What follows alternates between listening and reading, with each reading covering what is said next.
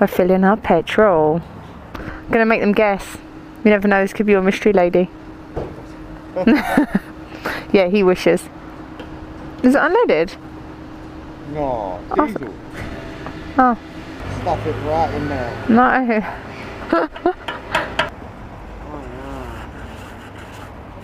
he always has to talk sexual to his bike. I just don't understand it. What? Nothing. Well, hello, viewers of the YouTube. So, my husband and I are on our way to the Wheatsheaf, which is a South African bar. Um, these guys actually did the catering for our wedding, and we had boerewors, which is a South African sausage, which is just the best. We had chicken flatties, we had steak. What else did we have? Oh, we had the best, what I think is the best pudding. They're called koeksisters. Now, in England, you can't actually get these, and everywhere that I found that does attempt to make them, they are shit. Roger, who is our South African caterer, caterer, made our koeksisters, and they were amazing. Look at Hardman walking over. Look how he struts. Hello, I'm Mr. Rebel. I think she's trying to chat me out. No, I think he just wishes that I was I got his. ID for uh, cigarette. Did you really? No. Oh, I think this this geezer and his Audi is waiting. That's not nice, is it? Blim, blim, wait. So we'll start again. So hello to all you viewers. Thank you for uh, tuning in to another one of uh, Mr. Rebel's vlogs. I got it right this time. As I said before, we're on our way to the Wheatsheaf, lovely South African pub, to go and watch the. Uh, showing off. To go and watch the England, not England, because England they're out. um, to go and watch South Africa v Wales um, rugby match, which should be good, and uh, South Africa better win. Because if they don't win, I'll be having words. Now, before I forget, I have to um, give a shout out, and I, I'm su- I know it's not Grizz, I'm thinking it's Traitor, which is uh, one of Mr. Rebel's friends from America. So, hello, Traitor. How are you? Um, you do make me laugh with some of your comments that you uh, you say to Mr. Rebel. Um, very flattered, so thank you. Oh, we're, we're pulling over. Why are we pulling over? Yeah, I'm just a forgetful bastard. I thought I forgot my keys. Oh, what on the side? No, they're, they're in my pocket now. Oh, okay. Can I just stick my thumb in this side, please? I'm really fatter on the one side, so I can't ever get my thumb in there. Woohoo, done it. Okay, we're off. We're off. So today's actually been quite um, a good day. Woke up this morning, took my uh, my oldest son to his football game, which unfortunately their team lost. They weren't on uh, on the best of form, I have to admit. They lost 4-2. They did beat this team though um, previously 5-3, uh, but I just think they weren't in it today. But uh, we'll get we'll get the next one. My mum has got our youngest son Mason. Um, so he's off terrorizing his granny and granddad. And then my daughter Shannon is currently at a fun fair in Buckingham, which we will be going to later on because, well, toffee apples. Yum! I don't know what he's doing. He's a proper faffing around on his bike today. So I have warned him that he has to take it a little bit easy with me today because obviously as you saw his previous videos, the numpty came off his bike. Now when he came off his bike, you can you can hear his ringing as he's uh, coming off.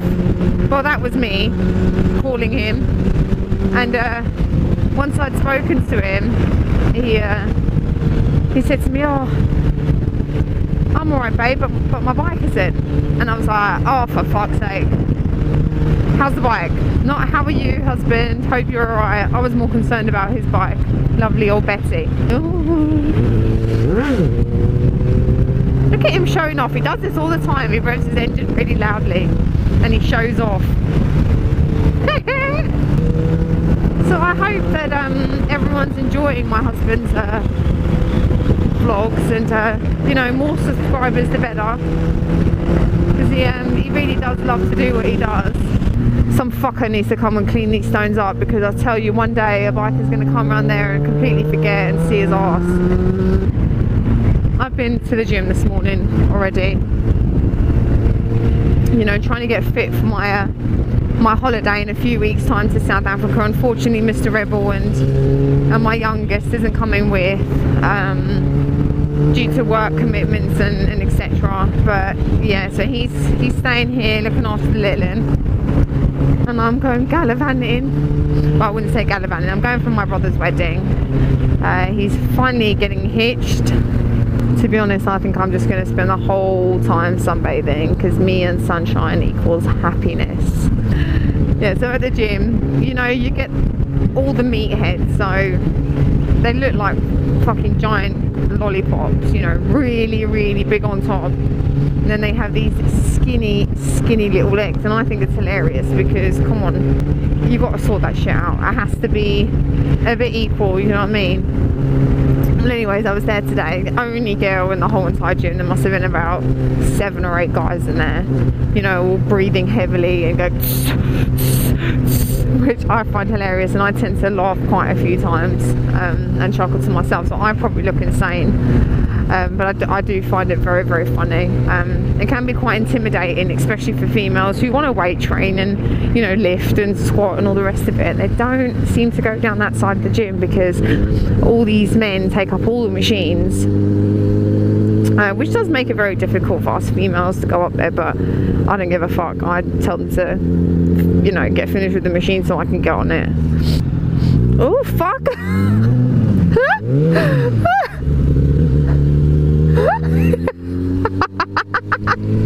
I nearly came off.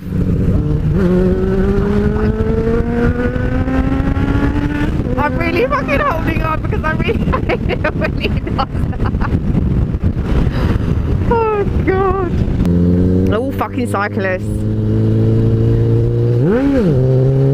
He's such an arsehole. There was a kid there, Mr. Rebel. You know, youngsters trying to keep fit and all. That probably scared the shit out of the poor little guy. He probably fell into the bush. So I watched the episode where uh, my husband uh, does accents and uh, all of his accents are pretty shit to be honest. the only one that I think he does really, really, really well is uh, an Australian accent. He does that really, really well. And he actually sounds like a proper Aussie. He attempts to do um, a South African accent, uh, which again is absolutely terrible.